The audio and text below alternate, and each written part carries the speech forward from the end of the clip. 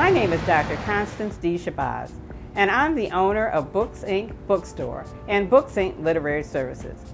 We have over 40 years experience helping authors to get their work from manuscript to the literary marketplace. We're excited about being a part of the Soulful Chicago Book Fair and look for you to come by our booth on July 16, 2016.